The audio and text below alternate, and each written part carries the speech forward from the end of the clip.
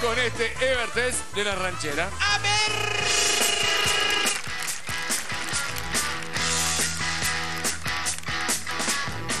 Hola, soy Ever Ludueña y en el test drive de hoy vamos a analizar pros y contras de un tradicional utilitario para el trabajador argentino. El ranchero, en este caso, carrozado. ¡Ah, muy bien! A pesar de ser un vehículo de carga, el ranchero es un auto muy veloz. Va de 0 a 100 en apenas 11 segundos. Si te desbarrancas en el camino de las altas cumbres yendo a Mina Clavero cargado con sandías. Es un utilitario fino y elegante, pero fuerte, como chicle de ajo.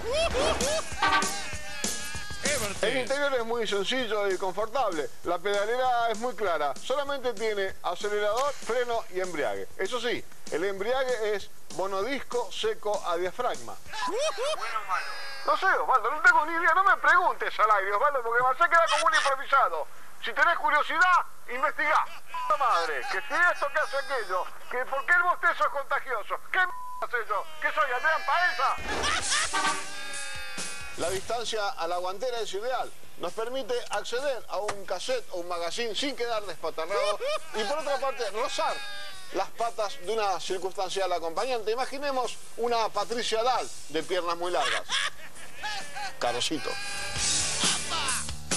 El asiento completo es clave para el hombre moderno de hoy, actual, siempre apurado, que no tiene tiempo para parar a comer. Sobre su superficie se puede armar una mesa para dos personas con plato principal, plato de sitio, cubierto de postre y copa para agua y vino.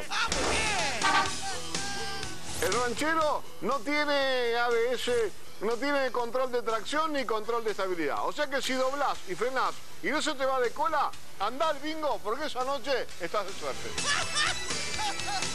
Si bien el espacio de carga es de difícil accesibilidad, el interior es bastante cómodo.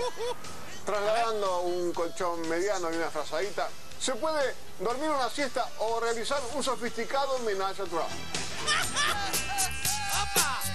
Por último, la joya de este vehículo, el sapito. El sapito del ranchero es el mejor dentro de su segmento. Su chorro preciso, tenaz, quirúrgico, es el único que ha sido certificado con las normas Pedro ISO 9002.